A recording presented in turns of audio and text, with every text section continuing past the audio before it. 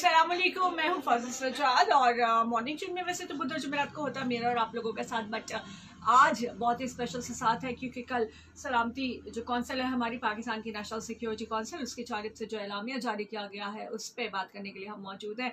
एक crucial time है मुल्क कौम के लिए और देखना यह है कि संडे में होने वाली वोटिंग जैसे कि वजी अजम ने कहा कि पाकिस्तान की डायरेक्शन को शो करेगी। पाकिस्तान किस तरफ़ जाना चाहता है? गुलाम और महकुमाना जहनीत के लोग इस पर मुसलत करके और इंटरनेशनल एजेंडे को पूरा किया जाना पसंद करते हैं। मेंबर्स कौमी असम्बली या फिर उन्हें समझ आ जाती है कि इंटरनेशनल साजिश का हिस्सा नहीं बनना है। रिटालिएट करेंगे, याद करें जब कहा था वजी अजम इमरान खान ने, जब सो कॉल सर्जिकल स्ट्राइक हो रही थी हम पे और इंडिया जो है वो पेलोड फेंक कर भाग गया था और उसके बाद ये सारे सीन चल रहे थे तो उस वक्त भी वज़ी अजम ने कहा था कि हम रिटालिएट करेंगे। और आसिफ गफूर साहब ने कहा था कि हमें पता है कब करना है और क्या करना है। उसके बाद दुनिया ने देखा कि हमने किया और जैसा किया आज तक शायद दूसरा कोई कर नहीं पाया। अभी ये कहा जा रहा है, सलामती कौंसिल के इलामिया में कहा गया है कि हम भरपूर तरीके से इस धमकी को, इस जो इंटरनेशनली एजेंडा है, अदम अतमाद का और वजी अजम को घर भिजवाने का, इसको, इस, इसके बारे में नहीं, क्योंकि धमकी इमरान खान को नहीं मिली, धमकी बेसिकली पाकिस्तान को मिली है। तो पाकिस्तान को दी जाने वाली इस धमकी को या वार्निंग्स जो कुछ इसके अंदर दी गई है, बड़ी सख्त गैर सिफारती ज़बान इस्तेमाल करके उसका भरपूर जवाबी रद्दमल दिया जाएगा। अब भरपूर जवाबी रद्दमल ये नहीं होता कि हमने जाके तो दूसरों के ऊपर फायर खोल देने और ब्रस्ट मार देने, सारे के सारे या किसी और मुल्क पर जाके मिज़ाइल फायर कर देने, क्योंकि इस इस दुनिया में हम जंगों के साथ कोई भी सोल्यूशन नहीं कर सकता। जंग किसी भी मसले का हल नहीं है और जंग के बाद भी टेबल टॉक होती है। और वैसे भी हम कहाँ धमकी देने वाला मुल्क कहाँ, हमारे बॉर्डर्स नहीं मिलते तो इस तरह से जंग नहीं हो सकती। लेकिन एक तरीका होता है उसको काउंटर करने का, और उसको काउंटर किया जाएगा। ये तो कल एलामिया बता दिया गया। तो वो लोग जो कह रहे थे कि ऐसी कोई चीज़ नहीं है। ये जो खत जिसे कहा जा रहा है, मरासला जो था बेसिकली मीटिंग्स थी। मीटिंग के जो मिनट्स थे, उसके बारे में कहा जा रहा था कि नहीं, ये तो इमरान खान ने बहाना बनाया। भागना चाह रहा है अदम तमाज से। ये सारे, ये ड्रामा किया जा रहा है। बट ये एग्जिस्ट करता है, ये कल साबित हो गया। ये ना सिर्फ़ एग्जिस्ट करता है, ये वाकई ख़तरनाक है, ये भी साबित हो गया। ये इंटरनेशनल एजेंडा है वजी अजम को हटाने का ये भी साबित हो गया। पाकिस्तान पे पाबंदियाँ, जो जो सेंक्शंस लगाने की बात की गई है, इसके अंदर वो भी साबित हो गया।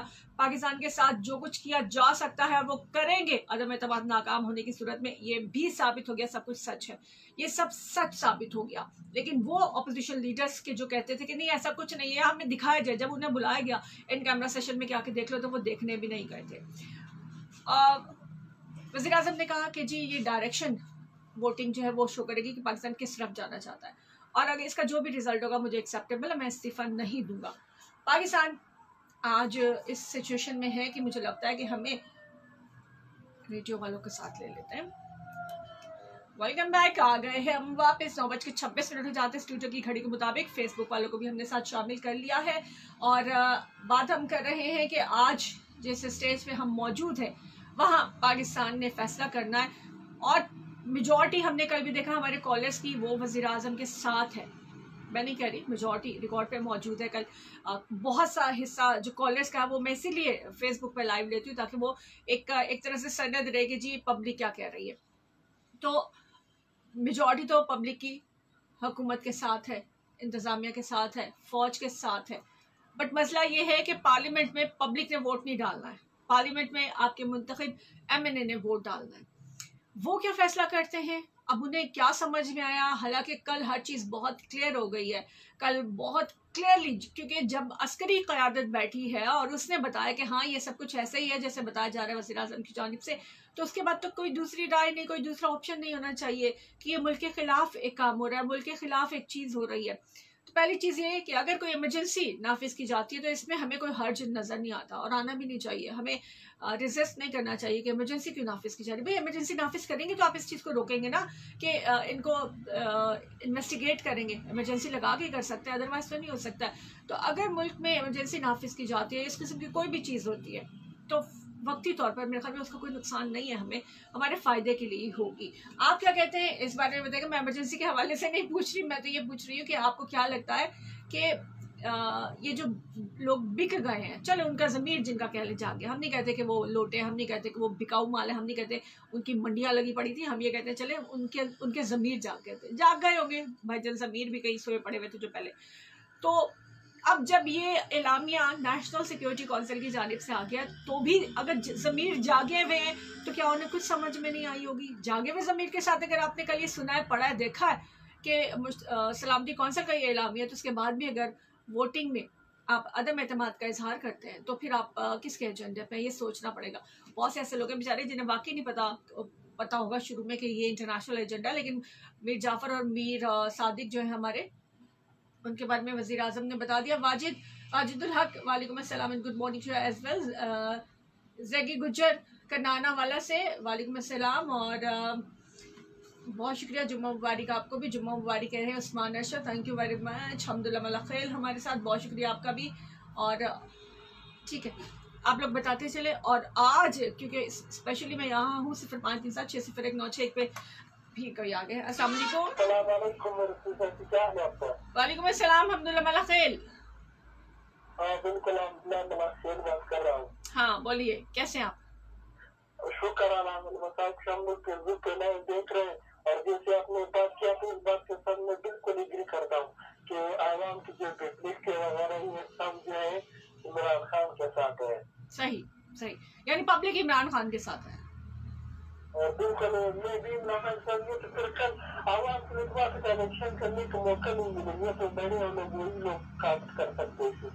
हैं, ये तो है। चलो। ठीक है। थैंक यू अलहमदिल्ला थैंक यू वेरी मच और बिल्कुल, कल भी हमने देखा, मुसलसल हम कितने दिन से ये देख रहे कि जो मेजॉरिटी आवाम की वो वसीर आज़म के साथ, शख्सियत परस्ती के हिसाब से नहीं, गैरत, हमियत, ये कोई एक चीज़ होती है जिसके बारे में अब हमें सोचना पड़ेगा। जुम्मे का दिन है, दुआओं का दिन है, दुआ कीजिएगा मुल्क के लिए, कौम के लिए। वेल एक चीज़ जो हमें कैंपेन करनी चाहिए, मैं जो चाहती हूँ ज़ाती तौर पर कि इंटरनेशनल एजेंडे पे कोई भी हो, वो किसी भी पार्टी से हो, छोड़ दीजिए कि आपका ताल्लुक किस पॉलिटिकल पार्टी से। लेट्स स्टार्ट द कैंपेन हम कैंपेन क्यों नहीं करते? कि गद्दारों को सजा दी जाए। गद्दार कौन होता है? जो अपने मफाद के लिए मुल्क को बेचे, जो अपने मफाद के लिए मुल्क की जो मुल्क की प्रायोरिटीज़ हैं, उनको उनको प्रेफर करने के बजाय अपने जो आल औलाद माल खाल सब बचाने की कोशिश करें। जो बाहर के दुनिया के लोग मुल्क कहें जो अपनी तरफ़ से सुपर पावर्स हैं वो कहें कि मुल्क में ये सब कुछ करो वो करें। जो आप पे ड्रोन अटैक करें तो भी आप चूचाना करें। जो आपको बोले कि ये रमज़ी यूसुफ दे दो ये हमें मलकानसी दे दो और आप दे दें क्योंकि आप डॉलर भी लेते हैं और उनसे डरते भी हैं कि हमारी आ, हम पे पाबंदियाँ लग जाएँगी ये सारा कुछ। इसके मुकाबले में अगर हम गैरत से खड़े हो जाते हैं क्योंकि मुसलमान अल्लाह के सिवा किसी के सामने नहीं झुक सकता इस चीज़ को अगर हम याद रखें तो आ, क्या हर्ज है? क्या बुराई है? क्या ये गलत रास्ता है? आज आपको ये चूज़ करना होगा चौधरी गालिब जेलम से आ गए हमारे साथ। बहुत शुक्रिया। और दरूद सलाम पढ़ना ज़िंदगी का मकसद बना लें। बहुत शुक्रिया जी। अच्छा आप हम ये बात कर रहे थे कि कैंपेन हम क्यों नहीं स्टार्ट करते कि गद्दारों को सज़ा दी जाए? इस बार तो दी जाए। इस बार को आखिरी बार बना दिया जाए, क्योंकि सजा नहीं मिलती, इस वजह से सब होता है ना। वॉल्यूम टेन अगर आप लोगों को याद हो जी ने वॉल्यूम टेन भी एक दिया था अदालतों में। दुनिया में किधर होता है कि आप एक वॉल्यूम ही सारे का सारा, एक सारी इन्वेस्टिगेशन ही बंद करके रख दें कि जी, नहीं, इसमें बड़े खतरनाक चीज़ें हैं, ये खुल गई तो और मसला हो जाएगा, ये वो। ऐसा होता है कहीं दुनिया में कि गद्दारी के सबूत उसके अंदर है। उसके अंदर ऐसे बहुत सी चीज़ें आ गई है आपके पास तहकीकत में जिससे पता चलता है कि गैर मुल्की फंडिंग के ज़रिए सब हुआ, गैर मुल्क मुल्कियों के कहने पे ये सब हो रहा है इतने सालों से और गैर मुल्क, मुल्कियों के कहने पे हमने अड्डे दे दिए, हमने ये कर दिया, वो कर दिया। और कौन सा हमारा बंदा है जो ये सब कुछ कर रहा था कौन ज़ाती फ़ायदे के लिए किस किस तरह से फ़ायदे उठा रहा है? दुश्मनों के साथ मिलकर कौन किस लॉबी से मिलता है? ये सारा कुछ वॉल्यूम टेन में था, जिसे अदालत ने पनामा पेपर्स में नवाज़ शरीफ को नाहल करा देते हुए बंद कर दिया था। दुनिया में कहीं ऐसे सबूत को बंद किया जाता है, नहीं किया जाता है। यहाँ पे सालों से लटक रहे हैं। और मतलब अखीर हो गई है केसेस की। लोगों की जनरेशन टू जनरेशन मुंतकिल हो रहे थे केसेस लेकिन एक एक जब वसीर आज़म कहते हैं वो कौन सा किताब में इस जो मिनट्स हैं मीटिंग के, जिसे ख़त कहा जाता है, उसकी, उसके बारे में बताने लगे तो कोई एक आदमी दो बजे के बाद दिन के दो बजे के बाद एक दरख्वास्त दायर करता है उसको फ़ौरन से सुन लिया जाता है और सुप्रीम कोर्ट मना कर और कोर्ट जो है वो मना कर देती है कि नहीं वज़ी अजम ये पब्लिक नहीं करेंगे। वज़ी अजम इसको आ, लोगों को नहीं बताएँगे और ये वो जिस दिन बताना था उस दिन दिन के दो बजे के बाद ये दरख्वास्त दायर होती किसने की? कौन इतना आ, मतलब वैल्यूएबल था कि फ़ौरन से सुन भी ली गई और सारे सब बहुत कुछ सोचने की बात है कि पे रोल पे कौन कौन है? यहाँ पे इंसाफ क्यों नहीं होता? लोगों को क्यों बेवकूफ़ बनाया जाता है? लोगों को क्यों जलील किया जाता है? ट्रक की बत्ती के पीछे लगाया जाता है? इस बार आप लोग मुतहद हो जाएँ। कोई भी रिज़ल्ट आए अदम एतमाद का कुछ भी रिज़ल्ट आए आपने बस ये सोच लेना है कि गद्दारों के साथ जो भी आपकी नज़र में गद्दार है चाहे आप इमरान खान को गद्दार समझे, जिसे भी समझे, जो भी गद्दार है, गद्दारों के खिलाफ स्टैंड लेना है, गद्दारों के लिए ज़मीन तंग कर देनी है, गद्दारों का बाइकआउट कर देना है, गद्दारों को बताना है कि वो गद्दार हैं और हमारे अंदर गद्दारों की कोई जगह नहीं है और रुखी सुखी खा लेंगे, लेकिन किसी के आगे नहीं झुकेंगे। इस चीज़ पे ज़रूर गौर कीजिए। पाबंदियाँ लगती हैं, लगें। कल जैसे ख्वाजा आसिफ नूली के ख्वाजा आसिफ समेत बहुत से लोगों ने स्टेटमेंट दे दी। नहीं जी, अगर अमेरिका के खिलाफ कुछ किया गया या बोला गया या रद्दमल दिया गया, जैसे कि वजी अजम ने कहा था कि एलामिया ये है, सलामती कौंसल का, कि हम भरपूर रद्दमल देंगे। तो जी, हमारे पे पाबंदियाँ लग सकती हैं। तेल हमारा वो रोक लेगा, ये कर लेगा, वो कर लेगा। मतलब गैरत और हमियत से ज़्यादा कुछ है। हम वो लोग हैं ना कि जिन पे आपने इतने टैक्सेस लगाए हुए हैं। बिजली के बिल, वो नील, नीलम जो प्रोजेक्ट है आपका, पता नहीं नाइन्टीज का प्रोजेक्ट है, उसके अभी तक भरपाई हमारे बिलों में हो रही है। उसको आप बीस बीस पच्चीस साल से चला रहे हैं, हमसे पैसे ले रहे हैं। हम वो भी तो बर्दाश्त कर रहे हैं, हर चीज़ बर्दाश्त कर रहे हैं। इतने टैक्सेस लगते हैं हमारे बिजली के बिल में, गैस के बिल में, हर चीज़ में। हम वो भी तो पे कर ही रहे हैं ना मर रहे हैं, किसी ना किसी तरह से गुजारा कर रहे हैं। तो अगर मुल्क में खुदा न खासा पाबंदी लगती है तो क्या हम सर्वाइव नहीं करेंगे?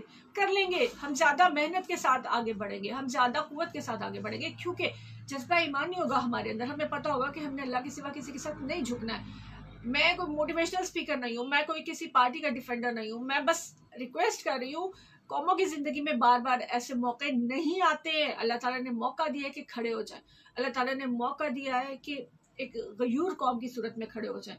अल्लाह ताला ने एक मौका दिया है कि बहुत कुछ ऐसे लग रहा है कि शायद बहुत कुछ ख़राब हो जाएगा, बट इसी से फ़ायदा उठाया जा सकता है। गैरत, हमियत कौम और एक मज़बूत कौम, ये ऐसी चीज़ें जिनके बारे में अब सोचना पड़ेगा। सिफर पाँच तीन सात छः सिफर एक नौ छः एक वाले बहुत शुक्रिया आप लोगों का। अच्छा जी, अब्दुल मालिक, अब्दुल मलिक अंसारी, वालेकुम अस्सलाम, सऊदी अरब से, मक्का मुकदमा से हैं। बहुत शुक्रिया sir, Abdul Malik Abdul Malik Ansari, Mohammad works Ansari Saudia से बहुत शुक्रिया। ओवरसीज़ पाकिस्तानी से हमारे साथ बहुत होते हैं, जिस वक्त बहुत परेशान है, उनकी बहुत बड़ी तादाद, और उन्हें भी बहुत फ़िक्र है। तो ओवरसीज़ पाकिस्तानी की परेशानी भी जायज़ है, क्योंकि उनको वोट का जो हक दिया गया था, वो ख़त्म कर दिया जाएगा। इलेक्शन कमीशन ने इलेक्ट्रॉनिक वोटिंग मशीन पे पहले से काम बंद कर दिया है। क्योंकि उसको पता था जी ऑपोजिशन के लोग आ रहे हैं, बस अभी नून लीग की हुकूमत होगी। या, ये जो मिक्स ग्यारह बारह पार्टीज़ का चार है, ये हुकूमत करेगा। तो इसमें इलेक्ट्रॉनिक वोटिंग मशीन ही हमने धांधली वाला सीन नहीं करना। तो वो उसने पहले से काम जो है वो बंद कर दिया। इलेक्शन कमीशन में वही लोग हैं और वही चहीते हैं जो सालों से बेईमानियाँ करते आ रहे हैं। और इंटरनेशनल एजेंडे पर ये सब कुछ हो रहा होता है। तो ये सारी प्रॉब्लम्स हमारी जो है वो आज भी मौजूद है। आज आने का मेरा मकसद सिर्फ़ ये है। रिक्वेस्ट करना आप लोगों से गॉड से गद्दारों के लिए दिलों से, दिमागों से गुंजाइश निकाल दीजिए। अदम अतमाद पे जो भी वोटिंग हो एम एन एस जो भी करे, वो उनका, उनके दिलो दिमाग की मर्ज़ी। हालाँकि जो सलामती कमेटी का एलामिया है, जिसमें बता दिया गया है कि ये वाकई थ्रेड किया गया है और ये जबान इस्तेमाल की गई है और मतलब ये सब कुछ है। इसके बावजूद अगर लोगों के, वो जो, जिनके ज़मीर जागे हैं, उनको भी, वो फिर भी वहीं अपने उस किस्म के जागे ज़मीर के साथ मौजूद रहते हैं। तो उनके हमारी सोसाइटी में क्यों दोबारा इज़्ज़त हो? वो क्यों हमारे नुमाइंदे बने? वो क्यों हमारे अंदर मौजूद रहे, जबकि वो गद्दारों के हाथों इस्तेमाल हो रहे हैं, चाहे वो जानबूझ के हो रहे हैं, चाहे अनजाने में हो रहे हैं? But whatever is this ये सारा खेल जो रचाया गया है, एक घन चक्कर है। इस घन चक्कर के पीछे सिर्फ़ और सिर्फ़ ये कि पाकिस्तान अड्डे भी दे, पाकिस्तान में हम ड्रोन अटैक भी करें, हम जो मर्ज़ी करें, कोई हमें पूछने वाला ना हो, कोई ये ना कहे कि अब ड्रोन ना आए, वरना हम बाहर गिराएँगे। कोई हमें ये ना कहे कि हम तुम्हारी जंग नहीं लड़ेंगे। कोई हमें ये ना कहे कि आप अकेले सुपर पावर नहीं है। कोई हमारी मर्ज़ी के बगैर किसी दूसरे मुल्क से ना मिले। पाकिस्तान कौन होता है, इमरान खान कौन होता है, जाके रूस से मिले। उससे मुआदे करे चीन के साथ दोस्तियाँ मजीद बढ़ाए सी पैक को जो है वो आगे बढ़ाए। ये सारे जो है वो सो कॉल्ड सुपर पावर जो हैं, उनको बड़े ख़तरे हैं इससे। हम कहते हैं ना, नहीं, ये सारी बातें, ऐसा नहीं है, वो वाकई ये चीज़ें महसूस करती है। तभी तो उन्हें इतना माइंड किया और इस किस्म की बातें जो इस मरासले में लिखी गई थी, वो इसीलिए लिखी गई थी। So this is the time कि अभी स्टैंड लिया जाए, गद्दारों को बिल्कुल ही निकाल दिया जाए। कल कल ही सॉरी संडे में वोटिंग है अदम अतमाद के हवाले से।